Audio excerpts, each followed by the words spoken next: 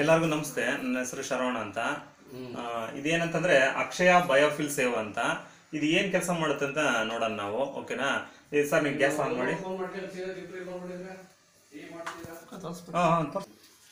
Hello sir ಇವಾಗ ಇದು gas ಹಚ್ಚಿದ್ದಾರೆ. ಗ್ಯಾಸ್ ಗ್ಯಾಸ್ ಅಲ್ಲಿ ಗ್ಯಾಸ್ ಎಷ್ಟು ಹೈಟ್ ಉರಿತಿದೆ ಅನ್ನೋದನ್ನು ನೀವು ನೋಡ್ರಿ.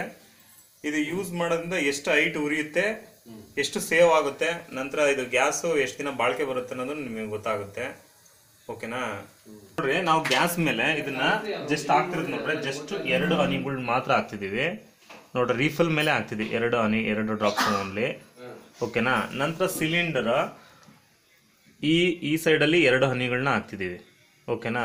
ಅದೇ ಆಪೋಸಿಟಲ್ಲಿ ಎರಡು ಡ್ರಾಪ್ಸ್ಗಳನ್ನ ಹಾಕಬೇಕು. ಓಕೆನಾ? ನಂತರ ಮತ್ತೆ ವಿರುದ್ಧವಾಗಿ ಎರಡು ಹನಿಗಳನ್ನ ಹಾಕಬೇಕು. ಇಲ್ಲೂ ಅಷ್ಟೇ ಎರಡು ಹನಿಗಳನ್ನ ಹಾಕಬೇಕು. ಇವಾಗ ಜಾಸ್ತಿ ಇವಾಗ ಗ್ಯಾಸಿನ ಅದ್ರದ್ದು ಹೈಟ್ ಎಷ್ಟು ಉರಿತಿದೆ ಅಂತ ನೋಡ್ರಿ ಇವಾಗ ಗೊತ್ತಾಗುತ್ತೆ ನಿಮಗೆ. ಫಸ್ಟ್ಗಿಂತಲೂ ಇವಾಗ ಎಷ್ಟು ಹೈಟ್ ಉರಿತಿದೆ ಅನ್ನೋದು ನಿಮಗೆ ಗೊತ್ತಾಗುತ್ತೆ. ಓಕೆನಾ? ಇದನ್ನ ಅಕ್ಷಯ ಬಯೋಫಿಲ್ ಸೇವರ್ ಯೂಸ್ ಮಾಡೋದ್ರಿಂದ ನೀವು ಒಂದು ತಿಂಗಳು ಬರೋ ಗ್ಯಾಸ್ ನಿಮಗೆ ಎರಡು ತಿಂಗಳ ಮೇಲೆ ಯೂಸ್ ಆಗುತ್ತೆ. ರೈಸ್ ಆಯ್ತಾ ಮೇಡಮ್ ಅವರ? ಹೇಳಿ.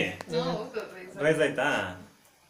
ನಿಮಗೆ ಸರ್ ನಿಮಗೆ ಏನನ್ಸುತ್ತೆ ಸರ್ ರೈಸ್ ಆಯ್ತಾ? ಜಾಸ್ತಿ ಅಬ್ಸರ್ವ್ ಮಾಡಲಿಲ್ಲ ಮನೆ ಅಬ್ಸರ್ವ್ ರೈಸ್ ಆಯ್ತಾ?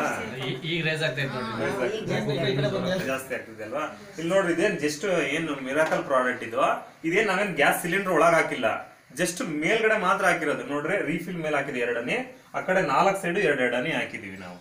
ಜಸ್ಟ್ ಟೆನ್ ಡ್ರಾಪ್ಸ್ ಹಾಕಿದೀನಿ ಟೆನ್ ಡ್ರಾಪ್ಸಿಗೆ ನೋಡ್ರಿ ಎಷ್ಟು ಹೈಟ್ ಉಳಿತಿದೆ ಅಂತ.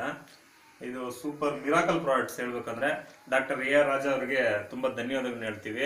ಯಾಕಂದ್ರೆ ಇಂಥ ಮಿರಾಕಲ್ ಪ್ರಾಡಕ್ಟ್ಸ್ಗಳನ್ನ ನಮಗೆ ಕೊಟ್ಟಿದ್ದಾರೆ ಅದಕ್ಕೆ. Thank you so much